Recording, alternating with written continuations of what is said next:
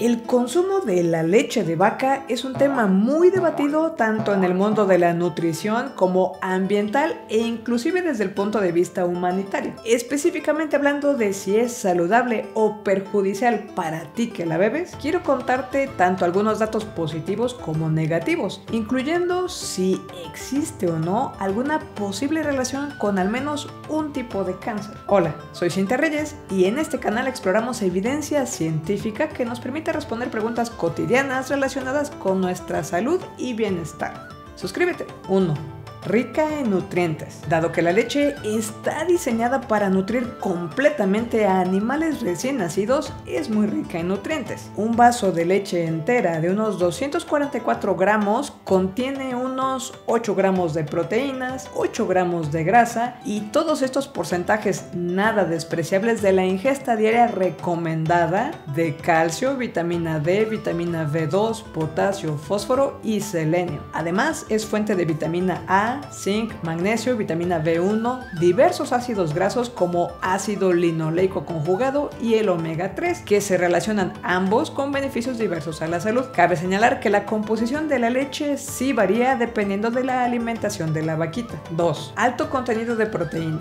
En la leche se encuentran los 9 aminoácidos esenciales que necesita nuestro cuerpo porque nosotros no los podemos producir. En esos mismos 8 gramos de proteína que acabo de mencionar encontramos principalmente caseína como ya mencionamos en el video sobre si el queso es adictivo. Además de la caseína, la leche incluye proteína de suero. Ambas se consideran proteínas de alta calidad. Quizás este último tipo de proteína te suena porque ya desde hace varios años mucha gente de la que busca crecer sus músculos consume esto como suplemento alimenticio. Inclusive hay estudios pequeños que sugieren que el consumo de leche después de entrenar puede reducir el daño muscular y favorecer su reparación, así como aumentar la fuerza. 3. Beneficios en los huesos. Sí existen estudios que han identificado una relación entre el consumo de leche y productos lácteos con un menor riesgo de sufrir osteoporosis y fracturas, especialmente en mujeres mayores. Uno de ellos inclusive sugiere que la razón es que la dieta de la población estudiada no tiene una ingesta suficiente de calcio y los lácteos pueden ayudar a suplir esta deficiencia. Aclaro que esto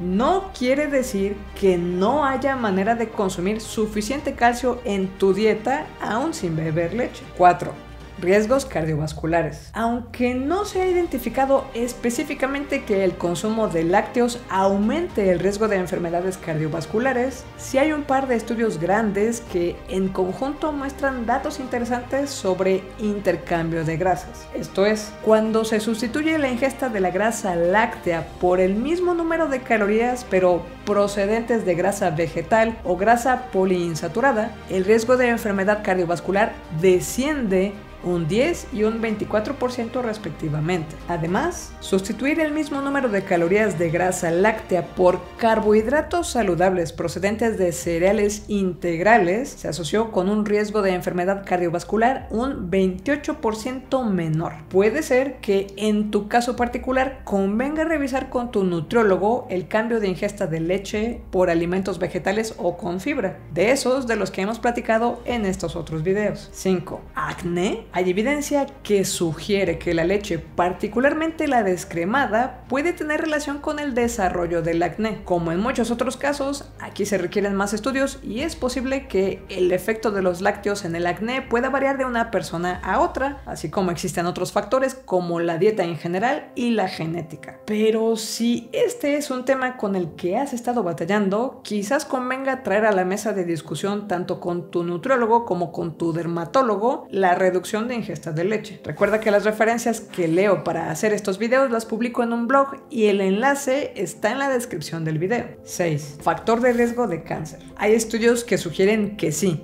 el consumo de leche se asocia con un riesgo mayor de riesgo de algunos tipos de cáncer y también hay estudios que dicen todo lo contrario. Entre todo el mar de estudios que existen alrededor de este tema, hay un tipo de cáncer donde, a pesar de que también hay resultados discrepantes, parece que sí se ha identificado que hay cierta relación que vale la pena analizar. El cáncer de próstata. Uno de los estudios más recientes y grandes en este tema es este. Aquí se evaluó la ingesta dietética de más de 28.000 hombres norteamericanos con una amplia gama de exposición a los lácteos y al calcio, todos ellos inicialmente libres de cáncer. La ingesta dietética se calculó a partir de cuestionarios de frecuencia de alimentos. Se averiguaron datos demográficos, antecedentes familiares de cáncer de próstata, actividad física, consumo de alcohol, pruebas de detección del cáncer de próstata e índice muscular. Se hizo un seguimiento a estas personas a lo largo de un promedio de casi 8 años, después de lo cual se tenía conocimiento de 1.254 nuevos casos de cáncer de próstata entre los participantes. Los resultados del estudio sugieren que los hombres que consumían unos 430 gramos de lácteos al día, que es algo así como una taza y tres cuartos de leche, tenían un riesgo un 25% mayor de cáncer de próstata comparados con los hombres que solo consumían 20.2 gramos de lácteos al día, que es algo así como media taza de leche a la semana. Uno de los autores del estudio comentó en una entrevista que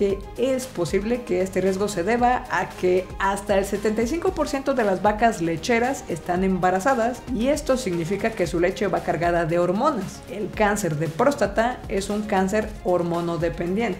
Además, Informes anteriores han asociado la ingesta de lácteos y otras proteínas animales con niveles sanguíneos más altos de una hormona, el factor de crecimiento similar a la insulina 1, que se cree que favorece ciertos tipos de cáncer incluido el de próstata. En esta revisión de literatura se concluye que a pesar de que hay indicios un tanto inconsistentes respecto hacia el consumo de lácteos aumenta o no el riesgo de cáncer de próstata, es posible identificar una relación entre ambas cosas y por lo tanto se debería disminuir el consumo de lácteos en la dieta masculina. Esta otra revisión de literatura llega a conclusiones similares, acotando que aunque los resultados no se consideran totalmente concluyentes, podría recomendarse a los pacientes que se pueden considerar en riesgo de cáncer que reduzcan o eliminen su consumo de leche o productos derivados, particularmente aquellos con mayor contenido de grasa. Este es quizás un tema que valga la pena que revises con tu médico que conozca tu historia clínica y familiar. En otros tipos de cáncer, aunque también exista cierta sospecha, por ejemplo en el caso del cáncer de mama, los estudios